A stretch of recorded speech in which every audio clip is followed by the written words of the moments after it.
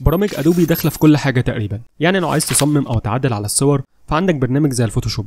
لو عايز تعمل لوجو احترافي مثلا فعندك برنامج Illustrator ولو عندك فيديو عايز تعمل مونتاج أو motion graphic فيه فعندك Premiere Pro و After Effects وغيرها من البرامج اللي لا غنى عنها في كل المجالات زي Adobe Audition لتعديل الصوت و Adobe InDesign لتصميم الصفحات والكتب وغيره. وأكيد مش هنكر قوتها وإن ملهاش منافس تقريبا بس مشكلتها الوحيدة هي الاشتراكات والأسعار. فعشان تحمل برنامج واحد بس منها هتحتاج اشتراك شهر كبير جدا ولازم تجدده كل شهر. وده طبعا ممكن يخليك ما تبدأش أصلا في مجال كان نفسك تتعلمه زي مجال الجرافيك مثلا. ومؤخرا هو مش مؤخرا قوي يعني ظهرت برامج مجانية كتير جدا بتنافس كل برامج شركة Adobe في منها المدفوع ومنها المجاني. وفي حلقة النهارده هنتكلم عن كل بدائل برامج Adobe المجانية اللي تقدر تحملها وتثبتها على جهازك بشكل مجاني تماما. وأنا بشوف إن ده من أفضل الحلول بدل ما تروح تحمل patch أو crack عشان تفعل برنامج زي ال Photoshop مثلا والمصيبة لو كان في فيروسات ممكن تدمر جهازك وملفاتك. ومشاكل كتير ممكن تستغنى عنها لو حملت البرامج المجانية دي. ولو خايف من نقطة إن البرامج المجانية دي ملهاش شروحات أو مفيش حد يعلمك فأحب أقول لك إن اولا الواجهة بتاعت معظم البرامج دي مش هتختلف كتير عن شكل برامج Adobe يعني هتبقى مألوفة بالنسبة لك لو استخدمت Photoshop أو Premiere Pro مثلا قبل كده. وثانيا هتلاقي كل البرامج المجانية دي ليها شروحات كتير جدا على يوتيوب مثلا فتقدر تكتب اسم البرنامج وكلمة tutorial جنبه وتتعلم من قنوات أجنبية قوية جدا في المجال اللي أنت عايز تتعلمه. ويا ريت تكمل الفيديو للآخر عشان فيه هدية ليك هتعجبك بإذن الله. فصلى على النبي واعمل like للفيديو ويلا بينا نبدأ.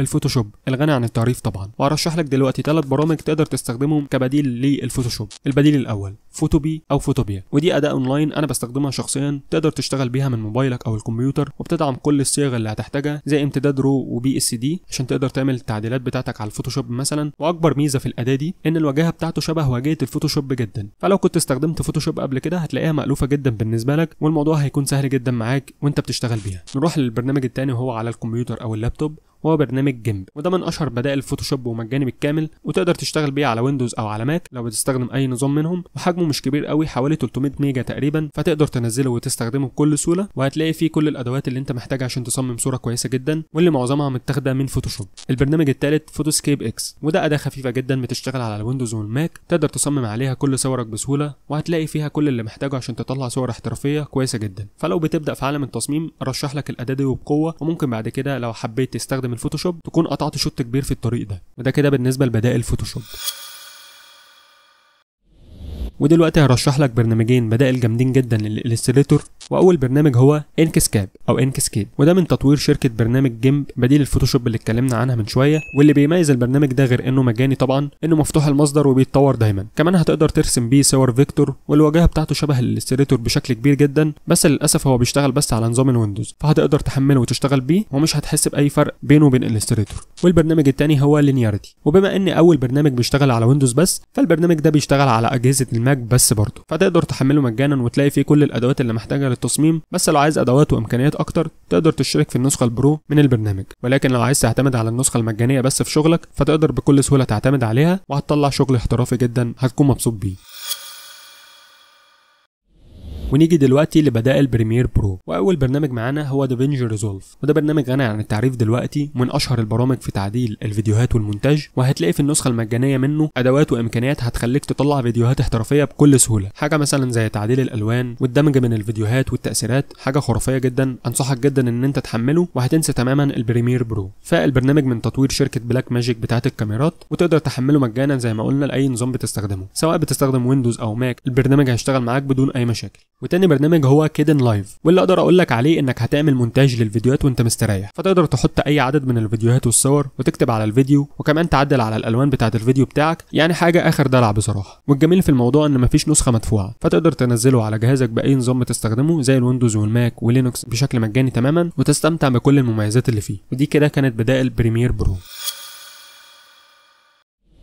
ودلوقتي هنتكلم عن بدائل After Effects والفرق بين Premiere و After Effects إن After Effects متخصص أكتر في إنتاج الأفلام وعمل تأثيرات ال motion graphic والكلام ده. وأول بديل معانا هو Blender وده من أحسن برامج ال 3D وال motion graphic اللي هتشوفهم في حياتك. وده لأنه برنامج قوي جدا في المجال اللي هو فيه ويقدر يغنيك بشكل كامل عن شغل كتير في After Effects وكمان حجمه صغير جدا ومشتغل على كل الأجهزة وكل الأنظمة زي Windows و Linux و Mac. وكمان هتلاقي في الموقع الرسمي بتاعهم مكتبة مشاريع من المطور نفسه بيعملوا مشاريع تقدر تحملها وتعدل عليها بالشكل اللي يناسبك. البرنامج الثاني أو البديل التاني هو Natron. هتلاقي فيه أدوات كتير جدا هتساعدك تصنع فيديو تكون راضي عنه تماما. زي اداه ال track إنك تعمل تتبع لجزء معين في الفيديو وتعديل الألوان ودمج الأشكال والشخصيات وتغيير الزوايا بالشكل اللي يريحك.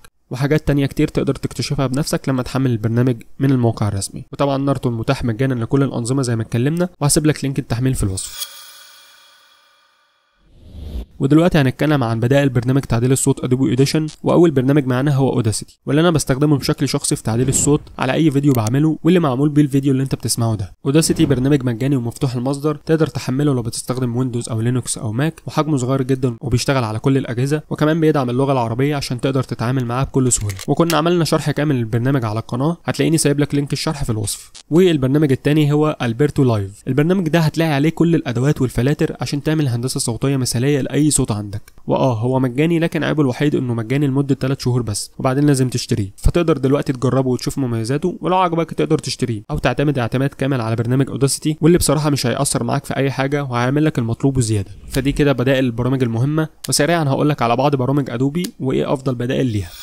بالنسبة لبرنامج Adobe XD هتلاقي أحسن بديل ليه هو اداه Figma وطبعا دلوقتي دي غنية عن التعريف وبرنامج Pencil Project وبالنسبة لبدائل Adobe InDesign هتلاقي عندك برنامجين. أول برنامج اسمه Scribus وتاني برنامج أو أداة هو موقع Canva وطبعا دلوقتي هو غني عن التعريف وبيشتغل على كل الأجهزة باعتبار إنه أداة اونلاين وعشان تعدل على ألوان الصور فجبت لك بدائل Lightroom البديل الأول برنامج RawTherapee وتاني بديل هو برنامج darktable والاثنين طبعا تقدر تحملهم مجانا. ووصلنا لجزء الهدية. هديتك بقى إني جمعت لك لينكات تنزيل مباشرة لكل البرامج اللي اتكلمنا عنها دلوقتي. مع شوية معلومات عن كل برنامج في موضوع واحد وهتلاقي link الموضوع برضه في الوصف. وبس كده أتمنى تكون حلقة النهارده كانت مفيدة وخفيفة عليك. ولو كنت قبل كده استخدمت أي بديل من اللي اتكلمنا عنهم يا ريت تقول لنا رأيك فيها في التعليقات عشان غيرك يستفيد. ولو لسه ما عملتش like للفيديو يا ريت تعمل like وتشترك في القناه لو مهتم بالنوع ده من المحتوى. وتشارك الفيديو مع كل أصحابك المهتمين بالجرافيك. شكرا لمشاهده الفيديو. أشوفكم على خير في فيديو جديد بإذن الله وفي أمان الله.